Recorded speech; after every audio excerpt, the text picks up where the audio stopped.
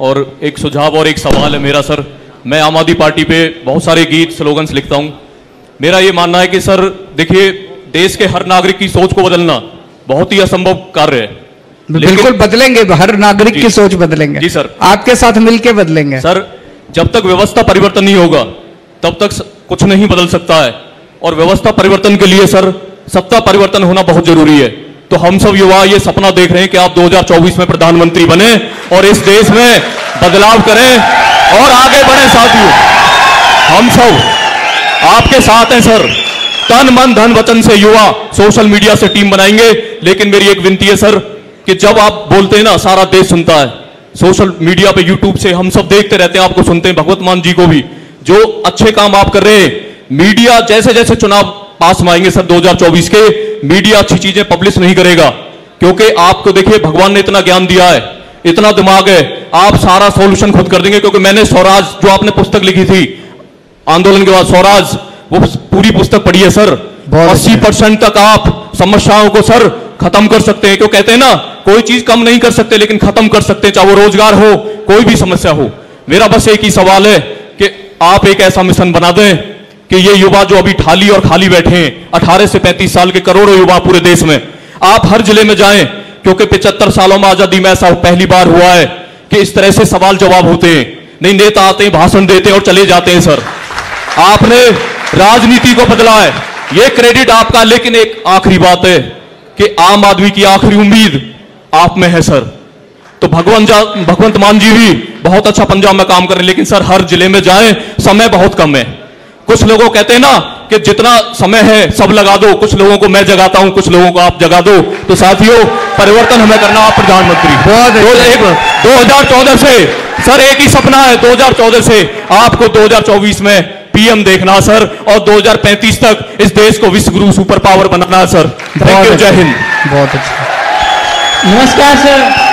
Sir left side left side sir front row नमस्कार sir हाँ जी हाँ जी। सर सबसे पहले तो मैं बहुत ज़्यादा नर्वस हूँ तो उसके लिए सॉरी मेरा आपसे ये क्वेश्चन है सर कि जो make India number one make India number one हम सब बैठ के कर रहे हैं यहाँ पे। क्या वो इंसानों के लिए है केवल?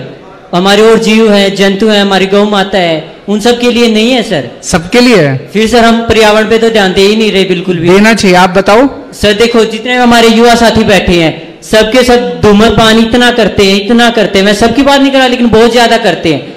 तो सर गवर्नमेंट को एक पॉलिसी लानी चाहिए कि धूम्रपान बिल्कुल बंद हो जाएगा देश से।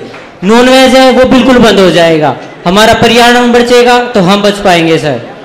तो क्या आप मुझे ये गारंटी दे सकते हो आज कि मैं नॉन वेज पर्यावरण और मतलब कि धूम्रपान, पर्यावरण को तो नहीं, सर नॉन वेज और धूम्रपान को इनको खत्म कर दूँगा देश से। अच्छा एक चीज़ बताओ। जब हमने दिल्ली में सरकारी स्कूल ठीक करने चालू करे तो कुछ लोग मेरे पास आए।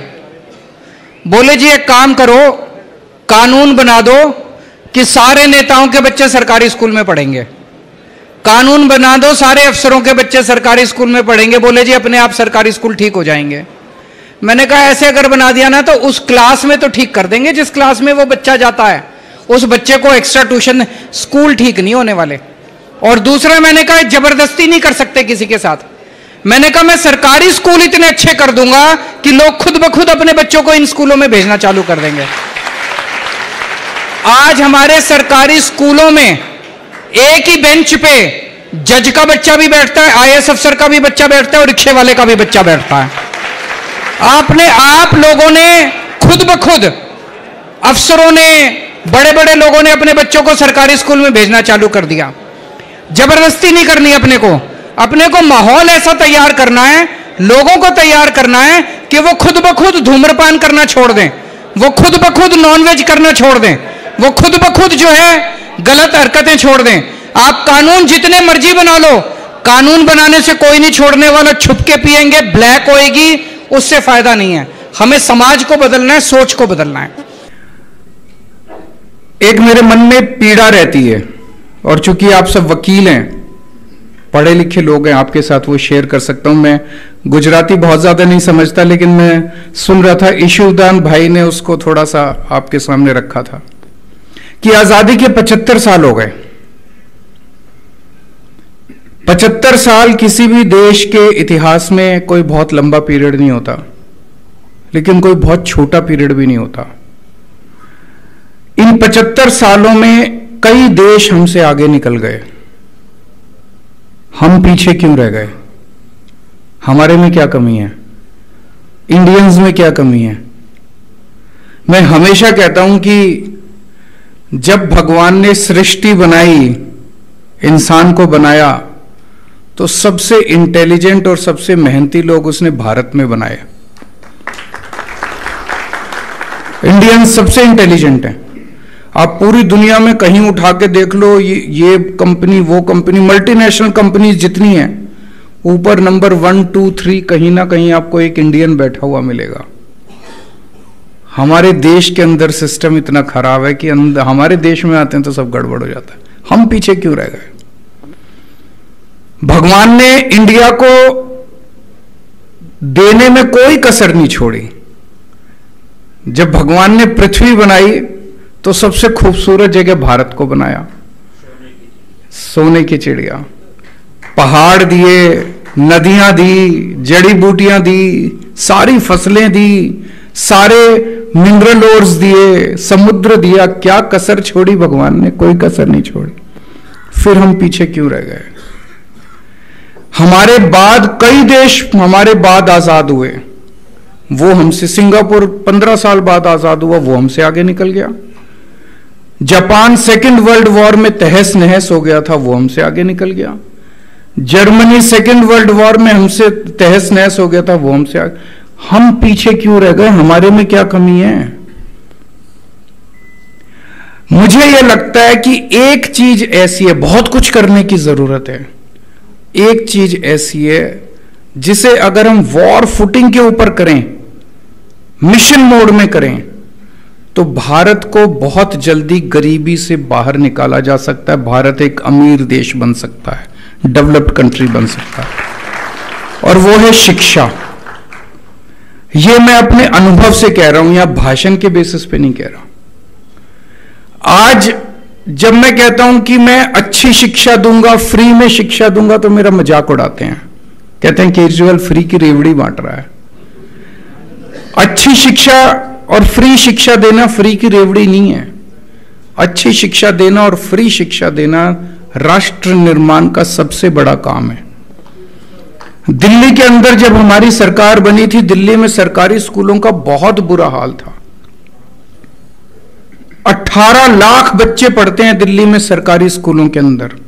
कोई भविष्य नहीं था इनका। दीवारें टूटी पड़ी थी, छत टूटी पड़ी थी, डेस्क थे नहीं। ज़मीन पे बैठते थे रिज़ल्ट सारे फेल होते थे बच्चे। आज उन्हीं सरकारी स्कूलों को हमने शानदार बना दिया। प्राइवेट स्कूलों से भी ज़्यादा अच्छे हो गए हैं सरकारी स्कूल। पिछले साल चार लाख बच्चों ने, चार लाख बच्चों ने अपने नाम प्राइवेट स्कूल से कटा के सरकारी स्कूल में भर्ती हुए हैं। ये ये चमत्कार से कम नहीं है। मैं एक क्लास में गया। मैंने क्लास में बच्चों से पूछा कि आप में से कौन कौन प्राइवेट स्कूल से नाम कटा के आया है? तो कुछ बच्चे खड़े हुए। फिर मैंने एक बच्चे से पूछा, कौन से स्कूल से नाम कटा के आयो उसने कहा, saint Columbus.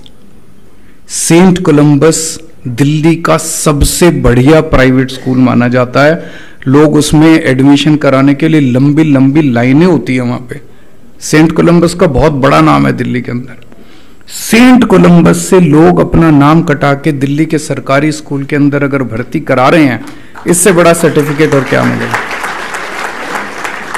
पिछले साल दिल्ली के हमारे सरकारी स्कूलों के नतीजे 99.7 परसेंट बोर्ड के पेपर में नतीजे आए हैं। अब हमारे जो बच्चे निकल रहे हैं, किसी का एडमिशन की इस आईआईटी में हो रहा है, किसी का इंजीनियरिंग में हो रहा है, किसी का मेडिकल में हो रहा है। एक रिक्शे वाले का बच्चा है, वो आईआईटी के अंदर कंप्यूटर साइंस पढ़ने जा रहा है। एक प्लम्बर का बेटा है, वो आईआईटी के अंदर केमिकल इंजीनियरिंग पढ़ने जा रहा है। इस साल साढ़े चार सौ बच्चों का आईआईटी के अंदर एडमिशन हुआ है। आईआईटी के अंदर एडमिशन आसान थोड़ी होता है। साढ़े चार सौ के करीब, सवा चार सौ से साढ़े चार सौ बच्चों का नीट के अंदर एडमिशन हुआ है मेडिकल के अंदर एडमिशन हुआ है। आप सोच के देखो, वो रिक्शा वाला मुश्किल से दस से पंद्रह हज़ार रुपए महीना कमाता होगा। उसके बेटे का आईआईटी में एडमिशन हो गया। बेटा जब निकलेगा, उसकी तीन चार लाख रुपए महीने की स्टार्टिंग सैलरी होगी आईआईटी के बाद।